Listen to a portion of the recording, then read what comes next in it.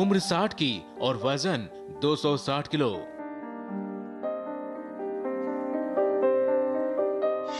बेंगलुरु के जुबैदा के लिए यही मोटापा मुसीबत बन गया था।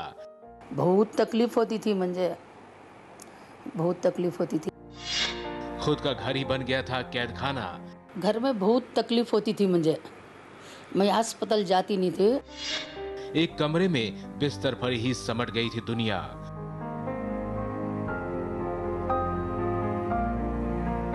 बिस्तर से हिलना डुलना भी मुश्किल हो गया था। बिस्तर पर लेटे लेटे थमने लगी थी साँसें। सोने नहीं होता था। सांस रुकती थी। शरीर में आधी रह गई थी ऑक्सीजन की मात्रा। आँखों से गायब हो गई थी नींद। बेकरारी रात तमाम नींद नहीं खिलती। बहुत तकलीफ़ होती थी मुझे घर में। मोटापा बन गया था जी का जंजाल। छूट रही थी जीने की आस।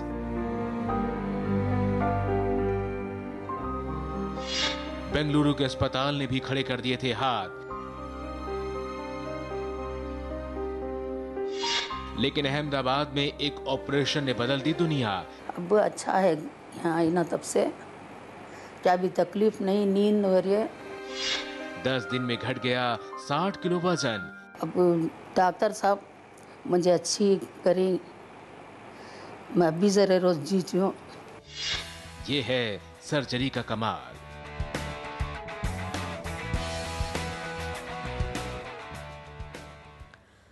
जी हाँ साठ की उम्र में वज़न 260 किलो। कुछ ऐसा ही हाल था बैंगलोर की जुबैदा का। जुबैदा का वज़न उनकी ज़िंदगी पर भारी पड़ रहा था। लेकिन एक अनूठी सर्जरी ने जुबैदा की ज़िंदगी में नई आस जगाई। लेकिन ये सर्जरी करना इतना आसान भी नहीं था। ऑपरेशन के लिए 260 किलो वजनी जुबैदा को बैंगलोर से अहमदाबाद लाया गया। वो भी एंबुलेंस में सड़क के रास्ते। क्या है पूरी खासियत इस सर्जरी की? देखिए इस रिपोर्ट में। बेंगलोर की जुबैदा के लिए अहमदाबाद के डॉक्टर भगवान बन गए। डॉक्टरों ने दी 260 किलो की जुबैदा को नई ज़िंदगी। सिर्फ़ 10 दिनों में घटा दिया 60 किलो वज़न। जुबैदा के लिए ये किसी चमत्कार से कम नहीं है। लेकिन आज से महीने भर पहले तक ये मोटापा जुबैदा की ज़िंदगी का सबसे बड़ा दुश्मन बना हुआ था। चलना, फिरना, उठना, बैठना सब कुछ मुश्किल हो गया था। ज़िंदगी जहनुम बन गई थी। साठ साल की उम्र में ही ज़िंदगी का साथ छूटने सा लगा था। घर में बहुत तकलीफ़ होती थी मुझे। मैं अस्पताल जाती नहीं थी पे सोने नहीं होता था। सांस रुकती थी बेकरारी रात तमाम नींद नहीं खिलती। बहुत तकलीफ़ होती थी मुझे घर में। इस हालात में जुबैदा को अस्पताल ले जाना भी कम मुश्किल न था। आखिर बेंगलोर के एक अस्पताल में जुबैदा को इस जानलेवा मोटापे से निजात दिलाने का भरोसा मिला। किसी तरह से 260 किलो की जुबैदा को अस्पताल पहुँचाया गया, लेकिन डेढ़ महीने के बाद आखिरकार अस्पताल ने भी हाथ खड़े कर दिए। अब जुबैदा की हालत दिनों दिन खराब होती जा रही थी। इस बीच जुबैदा के घर वालों को अहमदाबाद के एशियन बैराटिक सेंटर के बारे में पता चला। उन्हें आखिरी उम्मीद दिखी। यहाँ के डॉक्टरों से संपर्क किया गया। डॉक्टरों ने भरोसा दिया कि बैरियाटिक सर्जरी के ज़रिए जुबैदा का वज़न कम किया जा सकता है, लेकिन इसके लिए जुबैदा को अहमदाबाद लाना पड़ेगा। यहाँ सबसे बड़ी दिक्कत यह थी कि 260 किलो की जुबैदा को अहमदाबाद तक कैसे पहुँचाया जाए, जबकि उसकी हालत बहुत खराब थी। यहाँ तक कि बेंगलोर के एयर एंबुलेंस सर्विस ने भी जुबैदा को अहमदाबाद शिफ्ट करने से मना कर दिया। आखिरकार घर वालों ने जुबैदा को सड़क के रास्ते ले जाने का फैसला किया, उन्हें वेंटिलेटर पर रखा गया और एंबुलेंस के ज़रिए बेंगलोर से 1500 किलोमीटर दूर अहमदाबाद पहुँचाया गया। अब जुबैदा को अहमदाबाद लाया गया है तो उनकी हालत और बिगड़ चुकी है।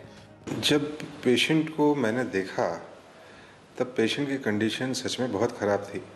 अब ख़राब कंडीशन क्या होती है अगर इसको डिफ़ाइन करें तो पेशेंट के फेफड़े काम नहीं कर रहे थे, उसका दिल काम नहीं कर रहा था, उसके पास ब्लड प्रेशर नहीं था, उसकी किडनी काम नहीं कर रही थी डायबिटीज़ बहुत हाई था, और पेशेंट की ऐसी हालत थी कि पेशेंट एक शब्द नहीं बोल सकता था, बिस्तर पे हिल नहीं सकता था।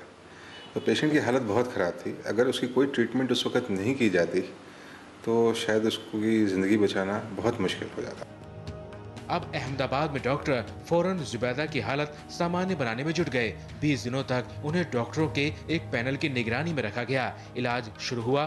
सबसे बड़ी चुनौती थी, जुबैदा की हालत सामान्य की जाए ताकि उनकी सर्जरी हो सके। हम लोगों ने सब मिल के तय किया कि इसके एक एक ऑर्गन को हम धीरे धीरे पहले सही करते हैं। सारी चीज़ें ठीक करते हैं। जब सारी चीज़ें ठीक हुई, उसके बॉडी का एक्स्ट्रा पानी निकाला गया। उसका खाना पीना लिमिटेड क्वांटिटी में किया गया। तब जाके हम पेशेंट को इतना प्रिपेयर कर पाए कि शायद सर्जरी हम कर सकें। जब हालात सामान्य हुए तो डॉक्टरों ने ऑपरेशन का फैसला किया लेकिन 260 किलो की जुबैदा की सर्जरी भी किसी चुनौती से कम नहीं थी।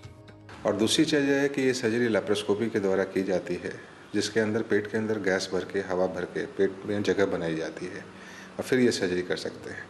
तो उसके पेट का भार इतना ज़्यादा था कि कोई भी मशीन कितनी भी हवा भर के उस भार को उठा नहीं सकते थे। उसके अंदर जगह बनानी बहुत मुश्किल थी। जैसे ही पेट में प्रेशर क्रिएट होता हार्ट या लंग्स के ऊपर प्रेशर पड़ने से उस पेशेंट के साथ अकस्मित कुछ भी हो सकता था। शायद ये जुबैदा की जीने की चाहत ही थी कि डॉक्टरों ने इस जटिल ऑपरेशन को अंजाम दिया। महीने भर पहले जो जुबैदा चल फिर नहीं सकती थी, अब इस कामयाब ऑपरेशन ने उन्हें आस दी है फिर से ज़िंदगी जीने की। डॉक्टर्स का अनुमान ये है कि अगले छः आठ महीनों में यदि इसी तरह से वो रिकवर करती रहीं तो उनका वज़न एक साल के अंदर करीब करीब 140 किलो जितना कम हो जाएगा। और आगे की जो उनकी ज़िंदगी है एक तरह से ही कह सकते हैं कि उनका लाइफ स्पैन जो है वो पाँच से दस साल और बढ़ गया है। Nirnay Kapoor India TV Ahmedabad. Ahmedabad के डॉक्टर्स ने जुबैदा की जो सर्जरी की है वो कोई नई नहीं है। उस सर्जरी को पहले भी कई भारी वजनी मरीजों पर किया जा चुका है, लेकिन जुबैदा का मामला थोड़ा अलग था। दरअसल बैरियाटिक सर्जरी पहली बार किसी 260 किलो वजनी शख्स पर की गई है, और जुबैदा के ऑपरेशन में कई और मुश्किलें भी थी। बैरियाटिक सर्जरी को वज़न कम करने वाले ऑपरेशन के नाम से भी जाना जाता है। आमतौर पर यह ऑपरेशन वो लोग कराते हैं जिनका वज़न ज़्यादा होता है और जो डायबिटीज़ और नींद न आने की बीमारी से परेशान रहते हैं। लेकिन जुबैदा का मामला इसलिए अलग था क्योंकि उसका वज़न 260 किलो पहुँच गया। उसकी ज़िंदगी सिर्फ़ बिस्तर पर ही सिमट गई थी और ये वज़न उनकी जान के लिए खतरा बन गया था। डॉक्टरों के मुताबिक जुबैदा ऐसी सर्जरी कराने वाली सबसे वजनी महिला है। इतनी मजबूती जो इनके अंदर आई है, जो इनके अंदर कॉन्फिडेंस बिल्डअप हुआ है, और ये चलना शुरू करेंगे तो छः आठ महीने में आराम से चल पाएँगी। अपनी रोज़ की प्रक्रिया को पूरी कर पाएँगी बाथरूम जाना है, नहाना धोना है, करना है, सब कुछ कर पाएँगी।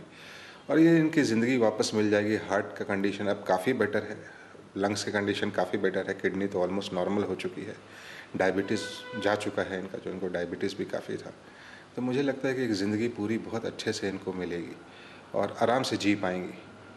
फिर ये डर नहीं लगा रहेगा कि कुछ भी हो सकता है इनको। इस ऑपरेशन में मरीज़ के पेट में पाँच छोटे छोटे छेद किए जाते हैं और फिर मरीज़ के जठर को काटकर छोटा कर दिया जाता है। इसके बाद छोटी आंत को काटकर उसका एक सिरा जठर से जोड़ दिया जाता है। यानी सरल शब्दों में कहें तो मरीज़ के शरीर के उस हिस्से को छोटा कर दिया जाता है, जहाँ खाना जमा होता है। ये हिस्सा छोटा होने की वजह से मरीज़ को भूख लगना कम हो जाती है।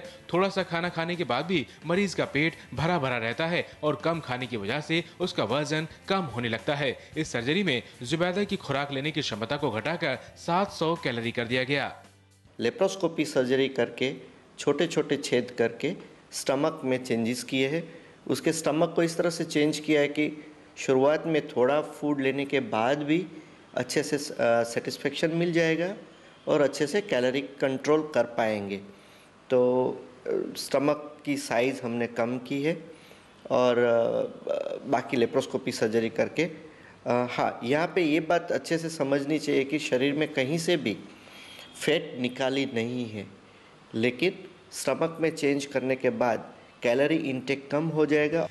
इस ऑपरेशन के बाद छह महीने के अंदर मरीज़ के वज़न में काफ़ी कमी आने लगती है। वज़न करीब 40 किलो तक कम हो जाता है। इस ऑपरेशन के बाद मरीज़ को ज़्यादा दिनों तक अस्पताल में रहने की भी ज़रूरत नहीं होती। ऑपरेशन के सिर्फ़ तीन दिनों बाद ही मरीज़ सब काम पहले की तरह कर सकता है, लेकिन जुबैदा का केस थोड़ा अलग था। उनका वज़न तो तेज़ी से घटा, यानी दस दिनों में करीब साठ किलो। लेकिन ज़्यादा वज़न और खराब हालत की वजह से उन्हें अस्पताल में ज़्यादा दिन तक रुकना पड़ा। वेट लॉस के लिए हम सोचे तो अ, 260 किलो से करीब 110 115 किलो तक वेट होगा मतलब बाकी का वेट लॉस होगा और साथ में ब्रीदिंग कैपेसिटी उसकी काफ़ी हद तक इम्प्रूव होगी क्योंकि जब वो हॉस्पिटल में आए थे तब ऑक्सीजन सेचुरेशन 60 परसेंट रहता था। इस ऑपरेशन के बाद मरीज़ को खान पान का ध्यान रखना पड़ता है, यानी जुबैदा को उन सब चीज़ों से परहेज करना होगा जो वज़न बढ़ाते हैं। इस ऑपरेशन की सबसे अच्छी बात यह है कि ये ऑपरेशन सुरक्षित होता है। ऑपरेशन में मरीज़ को कोई टाके नहीं लगाने पड़ते, सिर्फ़ शरीर में छोटे छोटे पाँच छेद करने पड़ते हैं और सिर्फ़ कुछ घंटों के अंदर ही ऑपरेशन पूरा हो जाता है। मरीज़ को बार बार ऑपरेशन कराने की भी ज़रूरत नहीं पड़ती और ना ही लंबे समय तक दवाई खाने की ज़रूरत होती है। धीरे धीरे मरीज़ का वज़न कम होता जाता है। Nirnay Kapoor India TV Ahmedabad.